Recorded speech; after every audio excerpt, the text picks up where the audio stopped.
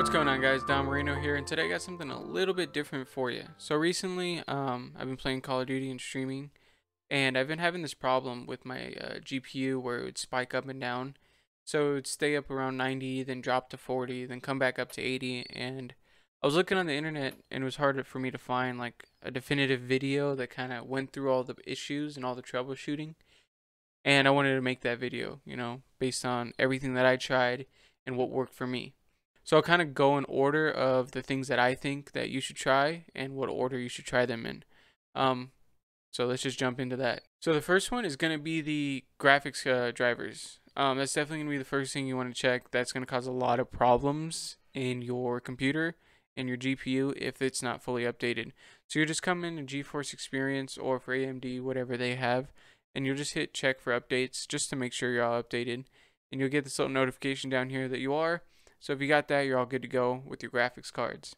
So the next few things are going to be all power related. The next three things are going to be kind of making sure that your computer is not throttling back the power that it's giving to your graphics card, making sure that it's always on high performance. So the first one is going to be coming down into your power settings. So you're just going to type in power down here and you're going to power and sleep and then you're going to come over here to your additional power settings. So most likely, if you've never gone in here and messed with it, it's either going to be on power saving mode or it's going to be clicked on balance. So you're going to click on high performance and that's going to be the one you're going to want to leave it at. So the next one, you're going to want to come down here and type in graphics settings.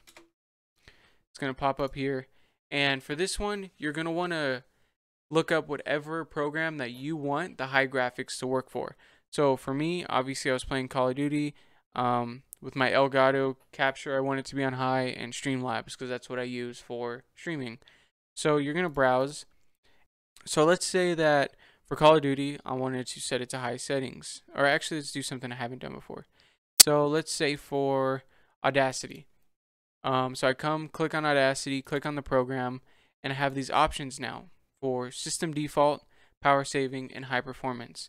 Now, for whatever game you're wanting to get the best performance out of, you're going to click on high performance there and you're going to hit save.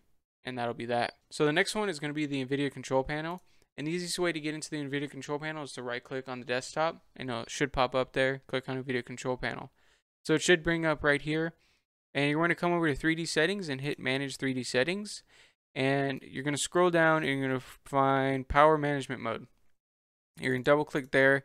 It's going to bring down this drop down menu and you're going to come down to perf maximum performance. Prefer maximum performance.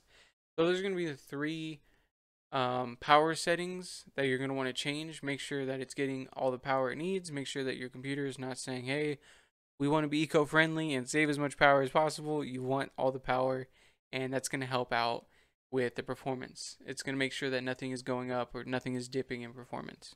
So the next two things deal with the game. The first is going to be VSync. Now that's going to be something that may or may not be in the game you're playing. In Call of Duty it is in the game. So you're going to want to test VSync on and VSync off and see which one works better for you performance wise. The second one is going to be uninstalling and reinstalling the game. Now, what I suggest doing is going into a different game and seeing if you have the same problems you're having with whatever game you're trying to fix. And if you're not, then I would go ahead and uninstall and reinstall the game because sometimes with computer programs it doesn't work perfectly. So sometimes that needs to be done. So the next thing I would try out is your HPET. Um, there's been a lot of issues with GPUs and HPET being enabled where the compatibility and for some reason they don't like each other and it causes them to you know have that issue where you're spiking up and down and not getting full performance out of your graphics card. So within your BIOS when you're turning on your computer and booting up, you're going to want to boot into the BIOS and you want to look for HPET and you want to try to disable that and see if that corrects any issues that you're having. Now, the final and last option, if everything else has failed and you're kind of at the end of the road and you need something else, um, is uninstall and reinstall Windows. Um, this sometimes corrects a lot of issues and but of course it's the last thing you're going to want to do because one it's time consuming and two you're going to lose a lot of your you know configured settings that you're going to have to go back in and make the corrections on. So if you do this you're to have to go back and make all the previous corrections and it could be a it could be a headache to do this. So this is definitely the last thing that I would do. Um, two like miscellaneous things you can try, or one if you're already planning on upgrading your graphics card, just go ahead and upgrade it and hope that that upgrade solves the problem. Um, the second thing is sometimes the graphics card and the motherboard don't have a good connection, so you're going to make sure everything is tight in there, make sure everything is connected well, make sure all your power cables are routed right, nothing is frayed, everything just looks good inside your computer. That's something just to check. Anyways, so beyond trying to fix this problem, I would definitely have the three power settings and the graphics card updated. Um, those are the three things or four things I would do automatically no matter what, whether you're having problems or not. You'll just get better performance and make sure that nothing weird is happening within the power and you know going to your GPU. So I appreciate you guys watching the channel. I appreciate you guys checking the video out. I really hope some of these things help you out with the problem you're having. I know for me, what helped me was uninstalling, reinstalling Call of Duty. It cleared up my problem right away.